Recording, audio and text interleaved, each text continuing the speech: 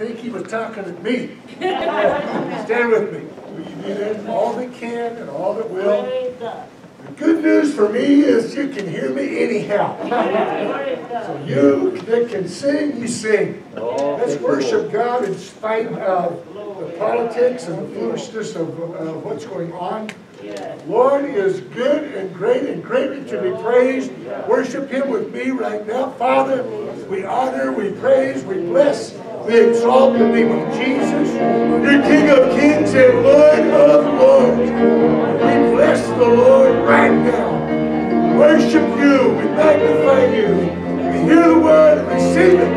For Jesus Christ our Lord.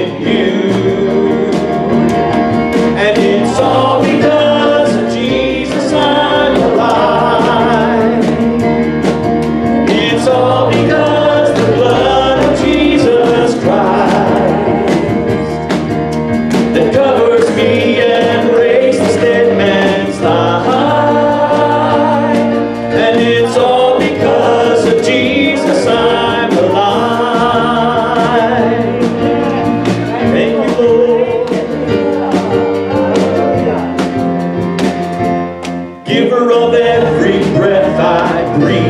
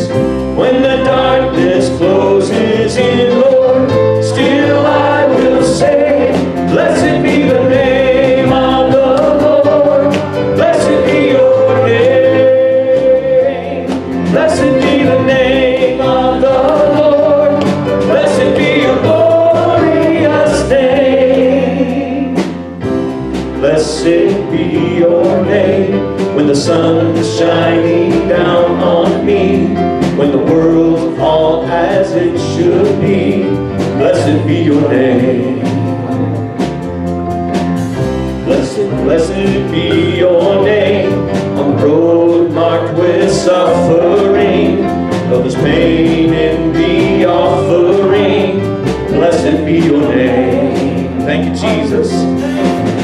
Every blessing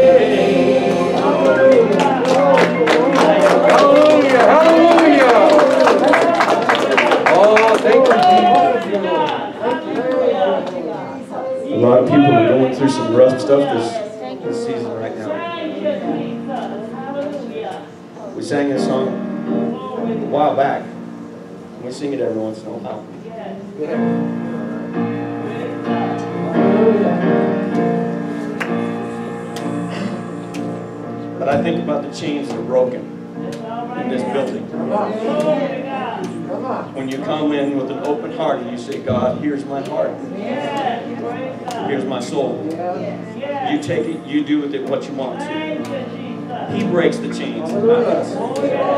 Not Pastor. Not Sister Donna. He breaks the chains. If you have chains in your life, depression, any kind of sin, anything, it doesn't matter.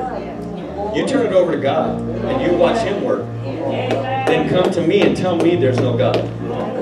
There are people in this building that are here because of God. And God alone, nothing else.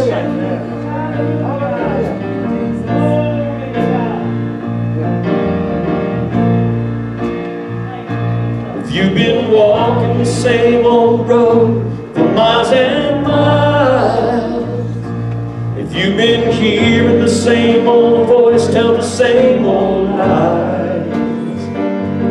if you're trying to feel the same old holes inside.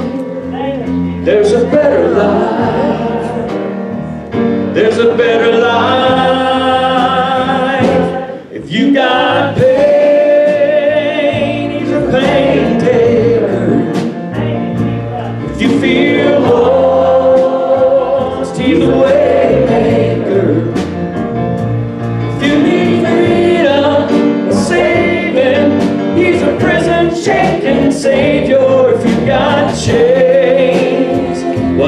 chain breaker.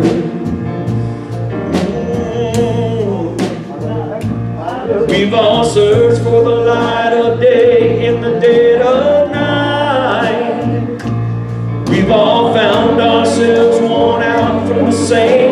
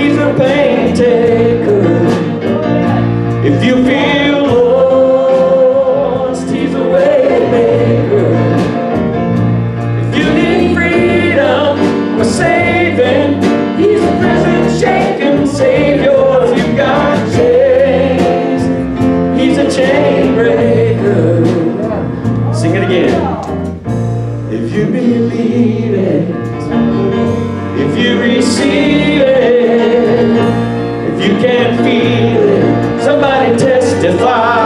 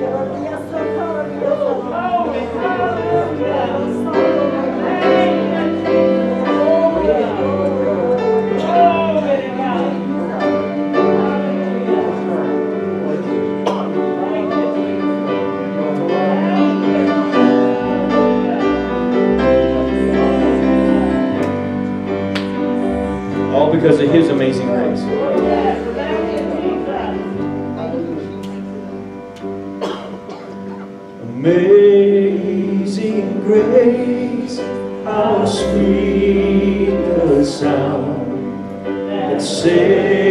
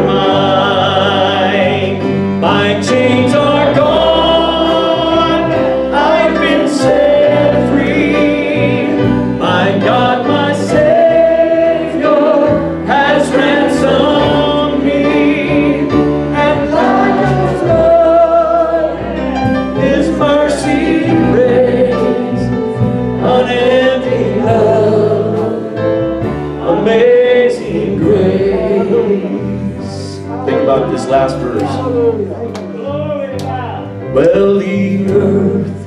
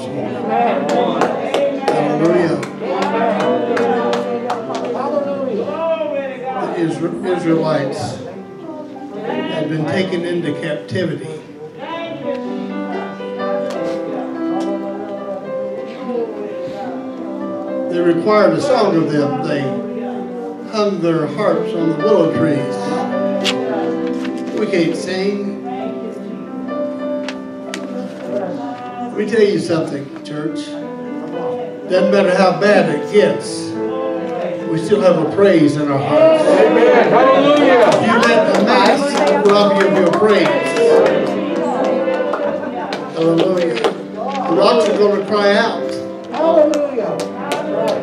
Trust me, that's right. I wish I could sing like Holy Cannoli.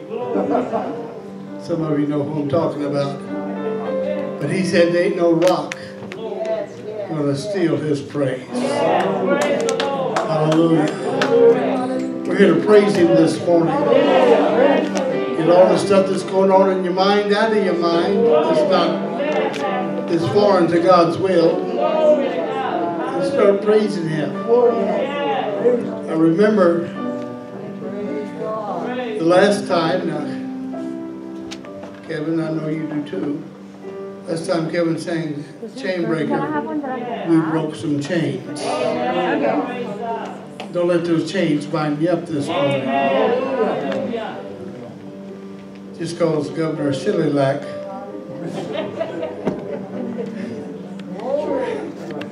Isaiah 40, verse 9.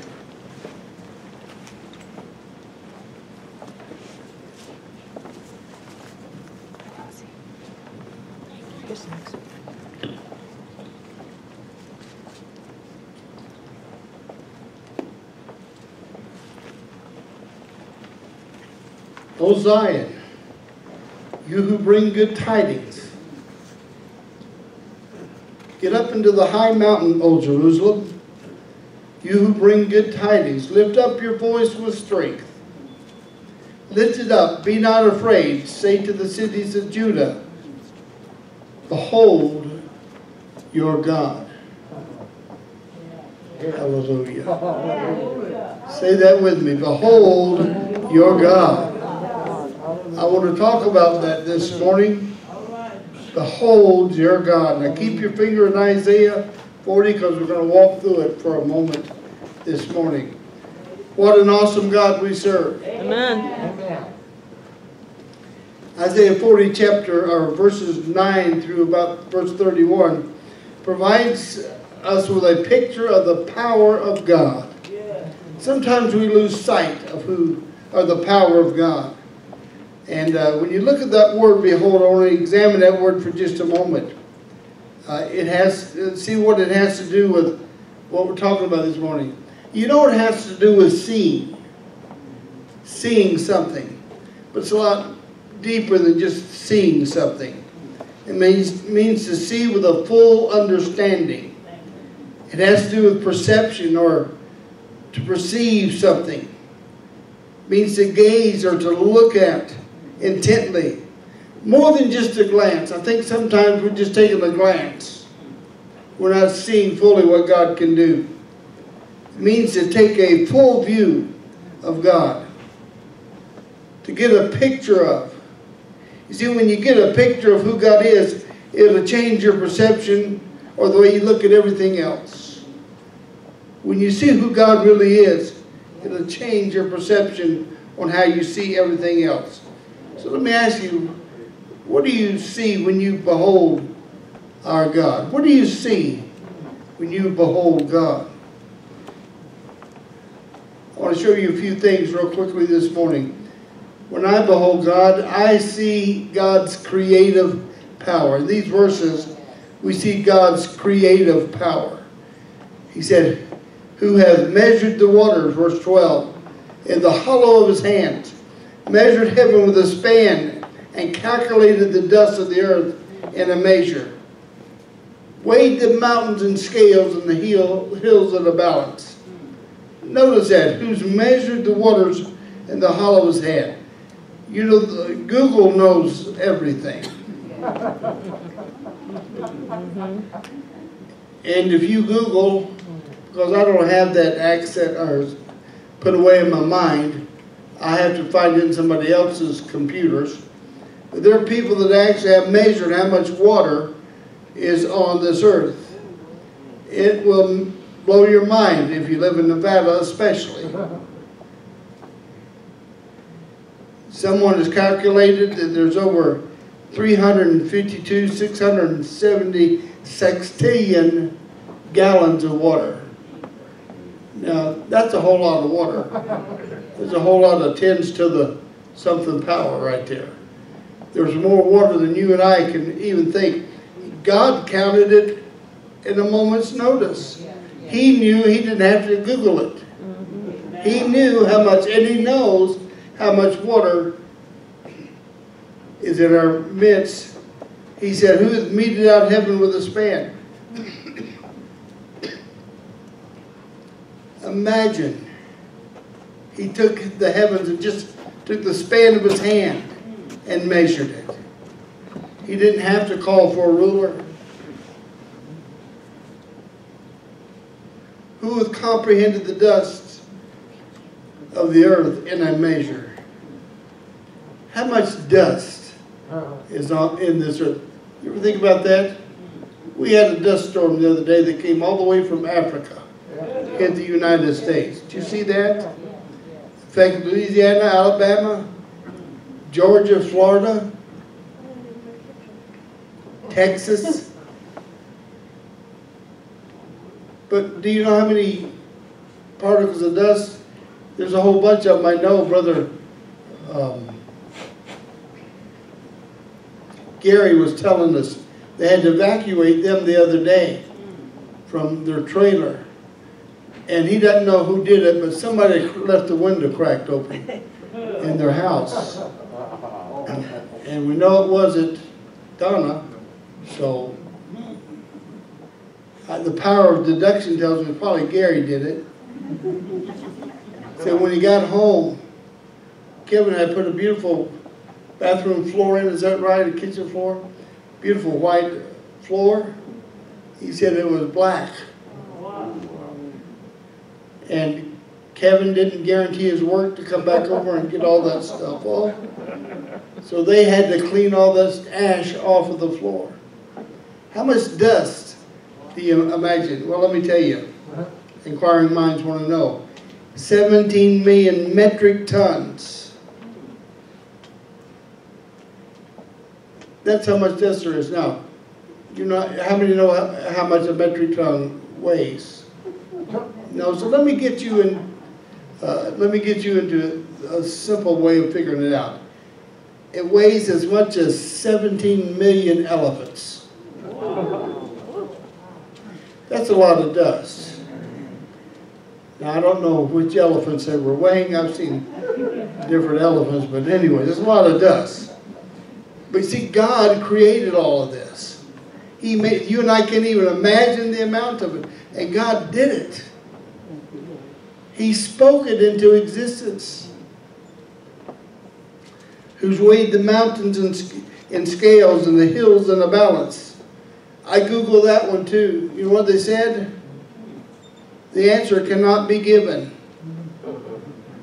They can't even figure that one out. Imagine Google not being able to figure something out.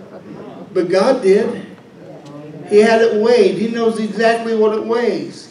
In his scales, he knows what's going on. So understand something. God created the massive universe. We showed a video one night uh, on, on our massive universe. I'd to show it again. It was a, a great video, and I forgot the name of it. Sister Gladys? Sister Gladys, and she should know the name. But we'll borrow it from her again and show it on a Wednesday night. But it shows the, the, the how magnificent the earth is, how big it is, how uh, we can't even uh, comprehend what it is. And God just spoke it into existence. What a creative God. The heavens declare, Psalms 19 and 1, the heavens declare the glory of God and the firmament shows his handiwork. Romans chapter 1. Chuck said it was fun keeping up with me this morning. Romans 1 and 19 says, Because what may be known of God is manifest in them, for God has shown it to them. Verse 24, Since the creation of the world, his invisible attributes are clearly seen, being understood by the things that are made, even his internal, his internal, his eternal power and Godhead, so that they might be without excuse. Since the creation of the world, see, God knows what He was doing in the beginning. Genesis 1 and 1. In the beginning, God created the heavens and the earth. Who helped God? Job tried to give him some advice on some things, and he told Job, Where were you? Where were you? Where were you when I hung the stars into place? Where were you when I spoke into existence this world? Something that you need to understand God never creates anything in vain. Isaiah 45 and 18 says, But thus saith the Lord who created the heavens, who is God, who formed the earth and made it, who's established it, who did not create it in vain, who formed it to be inhabited. I am the Lord and there is no other. Everything that God does, He does for a purpose. He doesn't do anything in vain. God created everything. Sunday school, they were teaching how God created everything, including the human beings. Little Johnny, a child in the kindergarten class, seemed especially intent when they told him how Eve was created out of one of Adam's ribs. Later that week, his mother noticed that he was laying down as though he were ill and said, Johnny, what's the matter? As he was favoring his side. Johnny said, I have a pain in my side.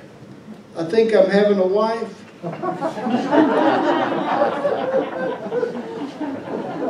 in the beginning, John 1, in the beginning was a word. The word was with God, the word was God. And he was in the beginning with God, and all things were made through him, and without him nothing was made that was made. Literally, that verse 3 means everything was created by him. God has a creative power. He has the ability to create. My God can do anything. Can your God do anything? Anything. He said, we used to sing that song, My God can do anything, anything, anything. My God can do anything. He made the earth and all its fullness, and all the time shall bring. My God can do anything. You see, He can take your puny little situation. Imagine how big this world is, and God's spoken into existence. He can take your puny little situation and create something grand out of it. Amen. Make something great out of it. I want you to notice something else. When you behold your God, you need to behold God's wisdom and His knowledge. Isaiah 40 and 13 and 14, we're reading to you. It says, who, is, who has directed the Spirit of the Lord? Or as his counselor has taught him. With whom did he take counsel? And whom instructed him? Taught him in the path of justice? Who taught him knowledge? And showed him the way of understanding? Who directed the Spirit of the Lord? That word directed meant to regulate, or to control, or to order. It was God who told the Holy Spirit to brood or to hover over the face of the earth. Who was his counselor? As in verse 13. Back up there, brother.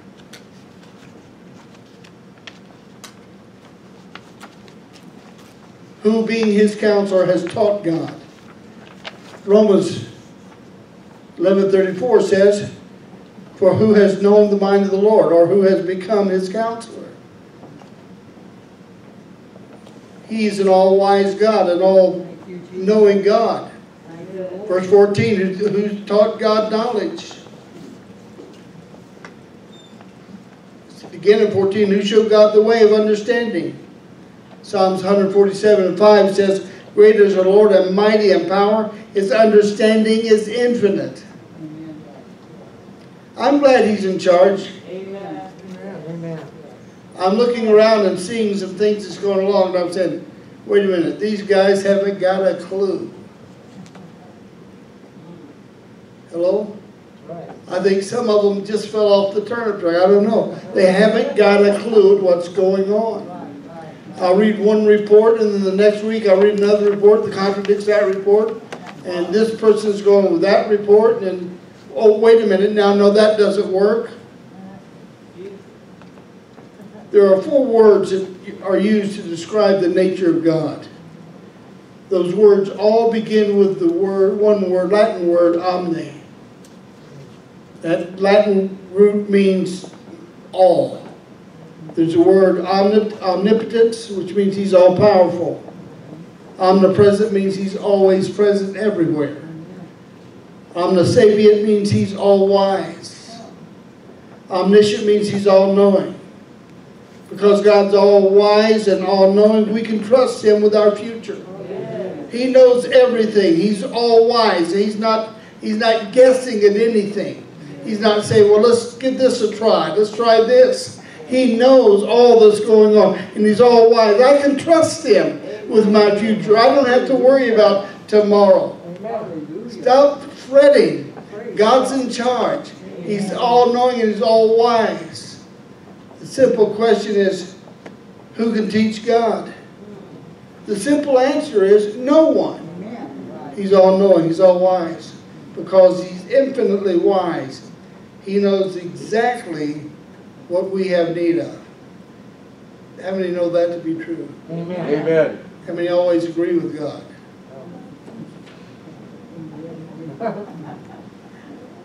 Thank you for your honesty. We sometimes like to argue with God. Don't say you don't do it because you know better than anybody else. Job did it.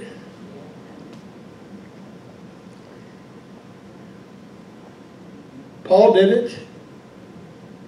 I've done it. Peggy's done it. You've done it. But God is all knowing, He's all wise. All You can trust Him with your future. Yes, amen. I'll tell you something else you'll read in these verses. You look at that word behold, you need to behold God's power over the nations. I don't know what, this is not the America that I was raised in. You guys pray for me. My asthma kicked in this week. And I'm sure it's from wearing those goofy masks. In verse 15 and 17 says, Behold, the nations are a drop in a bucket and are counted as small dust on the scales. Look, he lifts up the isles as a very little thing. And Lebanon is not sufficient to burn, nor its beast sufficient to, for a burnt offering. All nations before him are as nothing. They are counted by him less than nothing and worthless. The nations are just a drop in the bucket. God's got this thing. Amen. God's got America. I wonder what kind of America we to leave our kids? Well, can I tell you something? I, I think that our, I believe my kids are going with me when I leave America. I'm not planning on leaving in America to my kids. I'm planning on leaving America with my kids and my grandkids. But they are a drop in the bucket. We sometimes wonder and we think, what's going to happen? Where's this whole thing going? We see world, powers coming into shape that are changing America. Yeah, yeah. We see religions coming into America that are changing America. You can, you can agree or disagree, that's, that's your choice.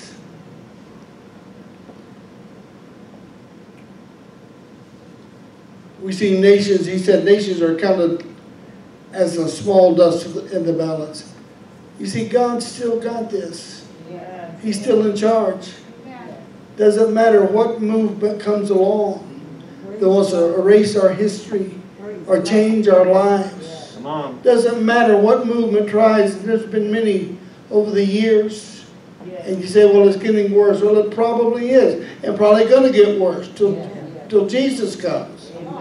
But God still has charge of this.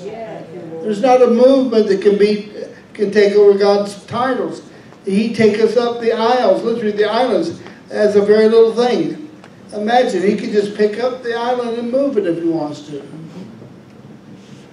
Wouldn't that be sweet? Put Hawaii in our backyard.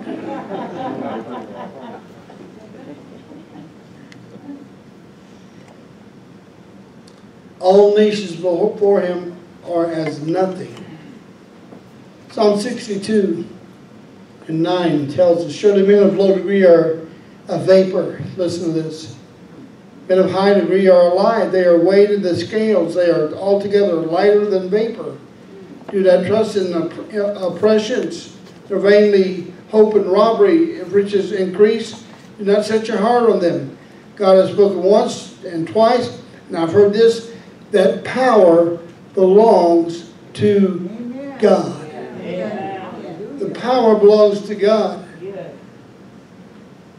Does it belong to Washington? Come on.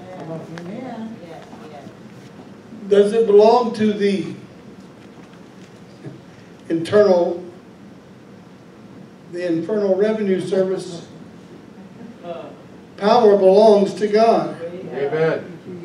Psalms 33, verse 6. Psalms 33 and 6 says, By the Lord's degree the heavens were made, by the breath of his mouth all the starry hosts.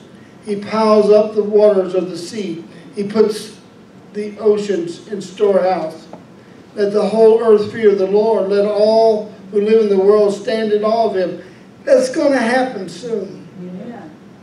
I'm seeing posters, I'm sure you are too, all over social media. It's amazing what social media has done to our world. How they have changed, literally changed our world. But I saw signs that says, going to hell and proud of it. I've seen signs that said, loving Satan and Satan loves me.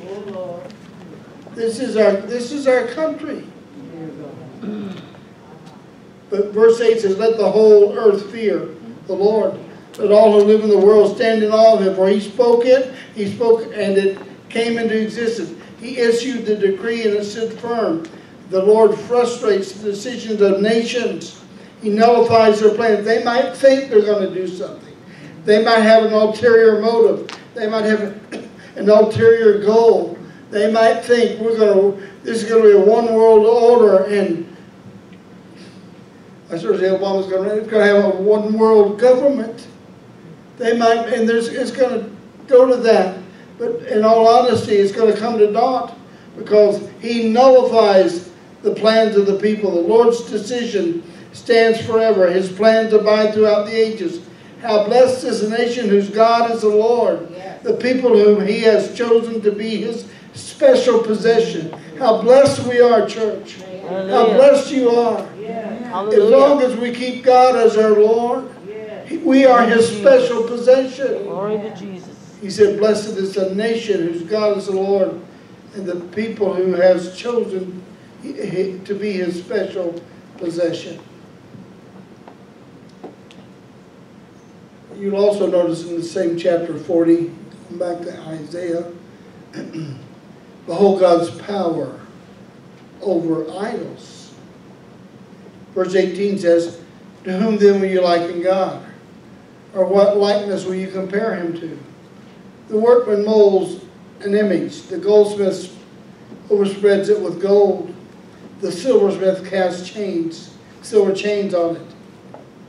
Whoever is too impoverished for such a contribution chooses a tree that will not rot. He seeks for himself a skillful workman to prepare a carved image that will not totter. Have you not known? Have you not heard? Has it not been seen from the beginning? Have you not understood from the foundations of the earth? Can't you get a clue? What likeness can be compared to God? They can make these idols. They can make man in the image of, and to represent God.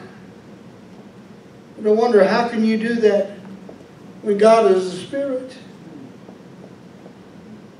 Acts 17 to 9. Therefore, since, or 29. Therefore, since we are the offspring of God, we ought to not think that, that the divine nature is like gold or silver or stone, something shaped by art, by man's devising. I got news for you.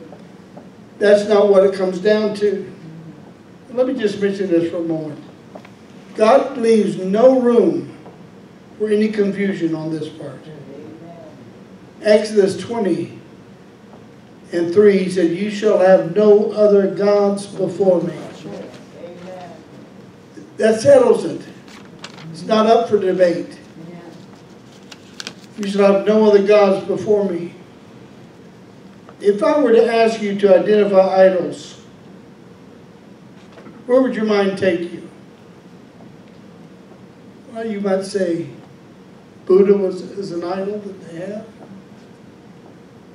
You might say that there's other idols that you might want to name. Can I tell you something? Idolatry isn't just an Eastern mysticism. It's not a Western consumerism thing. It's a human thing. Regardless of whether we are not, whether or not we physically bow down before a statue, they're tearing statues down all over the country. It's no longer about an individual. It's no longer about someone that was murdered by a policeman. It's no longer about that. Removing statues down all over the face of this country. But it's not about physically bowing down before a statue. Many of us have idols in our lives. Oops. How many can say amen before my asthma kicks in? Amen. It's not about that. Idols are anything that becomes more important than God in our life. That's what an idol is. Would you forgive me just a moment?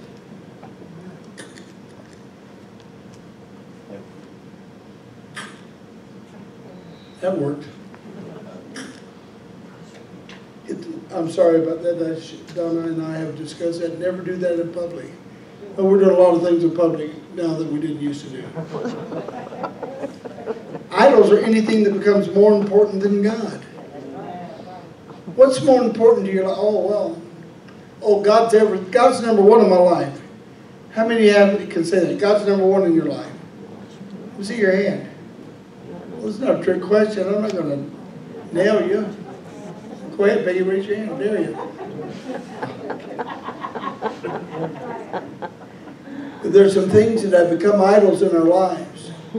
And I hope that you see what I'm telling you this morning.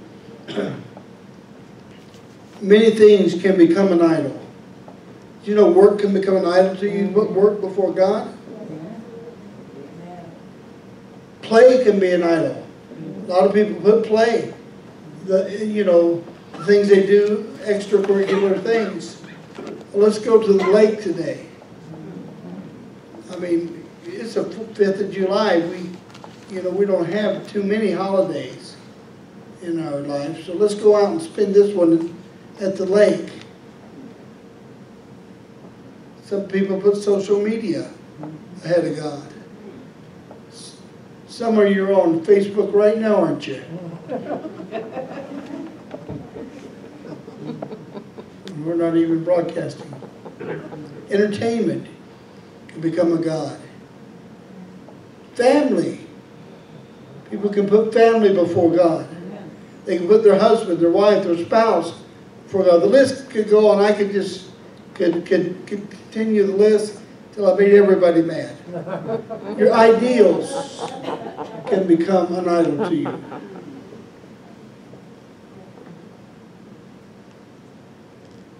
But I got news for you. There is no idol that is above God. There is no idyllic situations above God. God's above them all. He says, He's not has have you not known? Have you not heard? Has it not been told you from the beginning?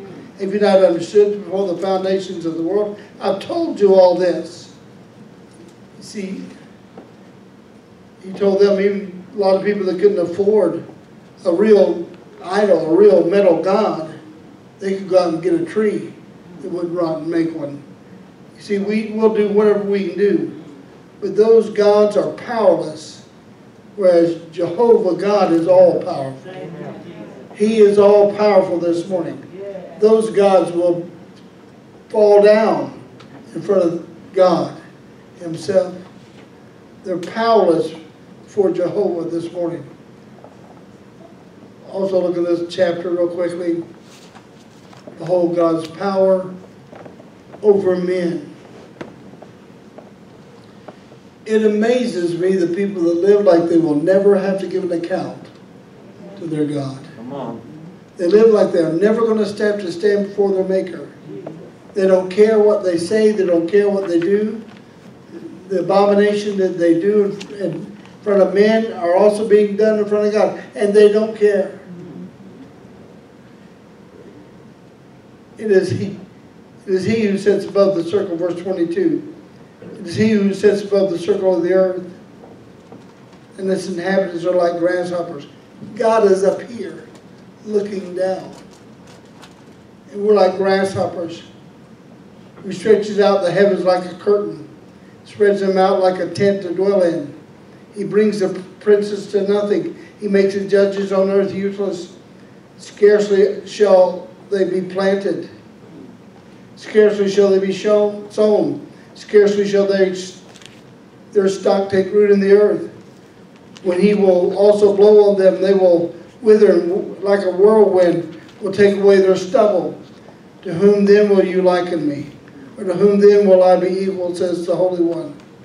I'm reminded of a man, especially of that nature in the Bible. There's been several, there's one that I'm particularly reminded of. His name is Nebuchadnezzar. Look at Daniel, you'll see the story of Nebuchadnezzar.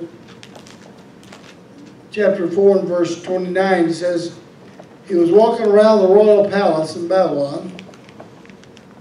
The king spoke, saying, Is this not the great Babylon that I built?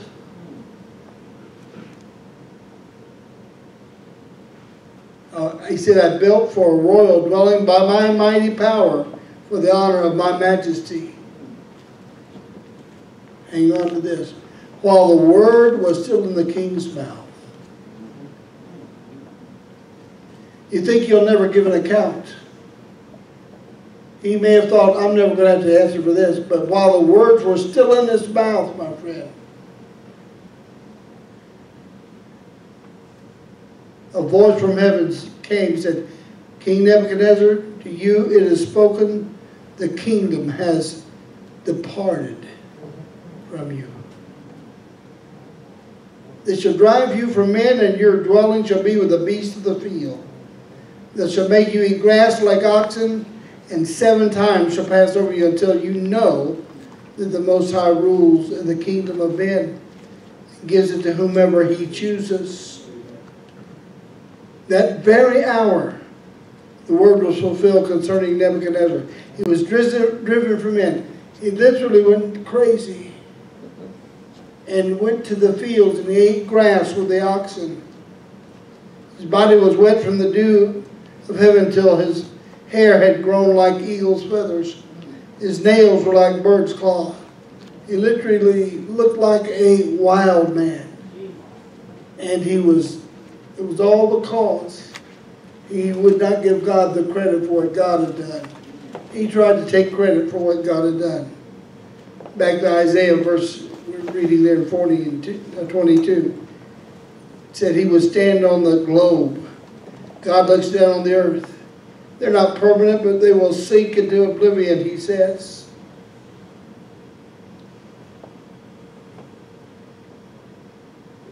I got news for you. God's in charge. You might think, well, I got this. I got this. You might think you're invincible. You might think nothing can happen to me.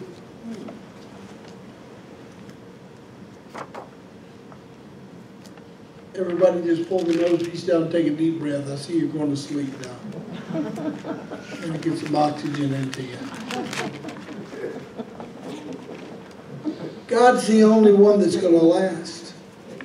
The Hitlers disappear. The Husseins will disappear. The Trumps will disappear.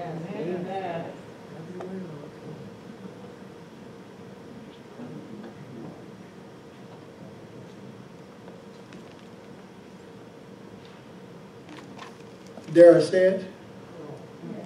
The Clintons will disappear.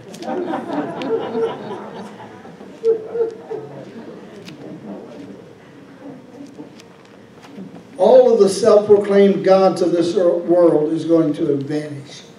The only one that's going to last is the eternal. Amen. That's God. Amen. They can stand up and say, I'm running this place. I'm taking charge.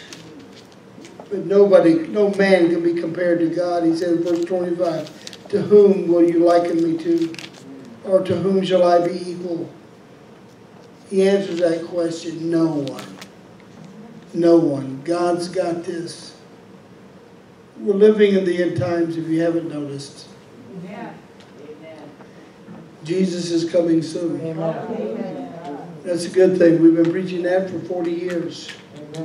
I know you didn't think I was 40 yet, but I've actually been preaching that for 40 years. Praise God. Doesn't discourage me that he didn't come 20 years ago. I'm not discouraged a bit because I know his coming is closer than it's ever been. So I want you to realize what we're going through now is just the last part of the church's history. This is the conclusion chapter. We had the introduction on the day of Pentecost. We had chapter two of our history coming through the latter part of Acts.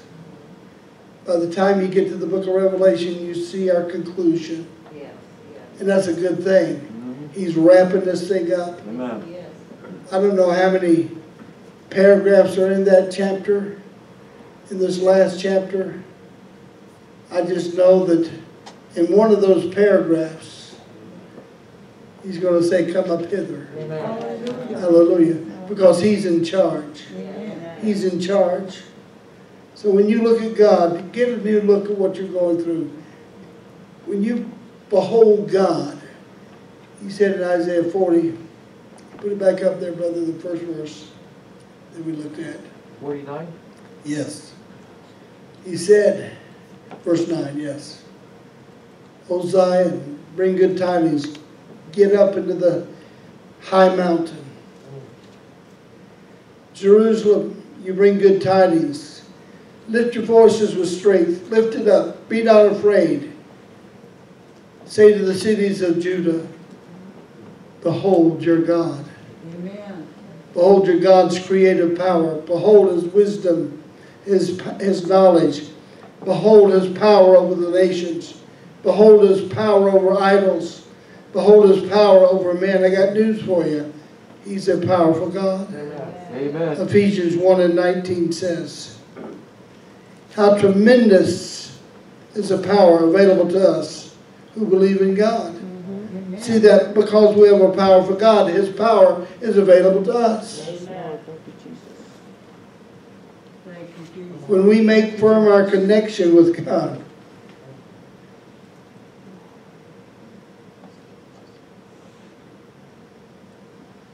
when we make firm our connection, I'm reading from the NET. Our connection with God, His life and power flow through us. King James says, this exceeding greatness of his power to usward who believe, according to the working of his mighty power. Nothing is too big for God. Amen. Amen. He can accomplish anything. Nothing is too little for him to use in that accomplishing it. Hallelujah. If you really believe, how many believe that? If you really believe that, then give him control. Let him take charge of it. Let him take control of it. He's in charge. Behold your God this morning. What a powerful God we serve.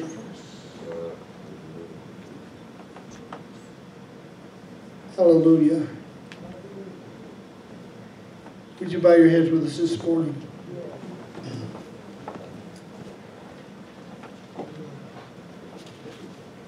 I want to ask you something this morning. Have you given God complete control of everything? Now, let's get real. Of everything. Is there something that you're saying, well, I'm still going to hold on to that just for now? Have you given Him everything in your life? If you haven't this morning, I ask you to let go of it and let God have it. He can do more with it than you ever thought you could. You got to let go of it and let God have it. While your heads are bowed and your eyes are closed, is anyone in the building? Says, Pastor, there's something I've been holding on to. I want to release it to God. I've been trying to work it out. It just hasn't, hasn't happened. But I want to give it to God this morning. God bless you. God bless you. Hallelujah. You know, God's still in charge. The courts aren't in charge. Government's not in charge. The so-called authorities aren't in charge. God's in charge. If you release it to Him this morning, He'll take it. He'll open the door that you thought could never be opened. He said, Lord, I need this door open, and that happened. You've been kicking on it, beating on it, slamming on it, yelling at it, and it still hadn't happened. God says, now give me a chance.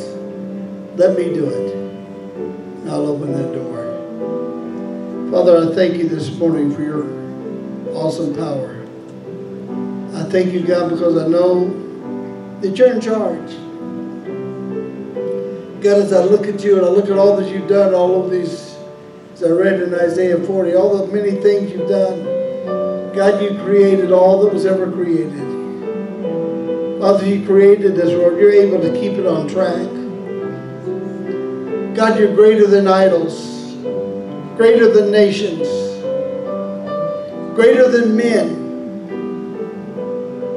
You can do what no other power can do. Father, for every hand that was raised, I pray, God, whatever it is, God, that they're struggling with, God, that you would take it over this morning. Take it off of their shoulders. Work it out. Open the door that no man can open. Close the door that no man can close. Make a way where there seems to be no way. Father, right now, in Jesus' name, in Jesus' name, amen and amen. Would you sing this with us? Go ahead, Kevin. All that I am, all that I have, I lay them down before you, oh Lord. All my regrets, all my acclaim, the joy and the pain, I'm making them yours. Lord, this morning. Everything I've been through, use it for your glory, Lord. I offer my days to you, lifting my praise to you as a pleasing sacrifice. We're going to sing this again. Lord, One thing they can't tell us that we can't do they can't tell us to pray. So I want to encourage you to come around these altars this morning. Say, what am I going to say? Yeah, find, find your six foot apart. You'll be fine.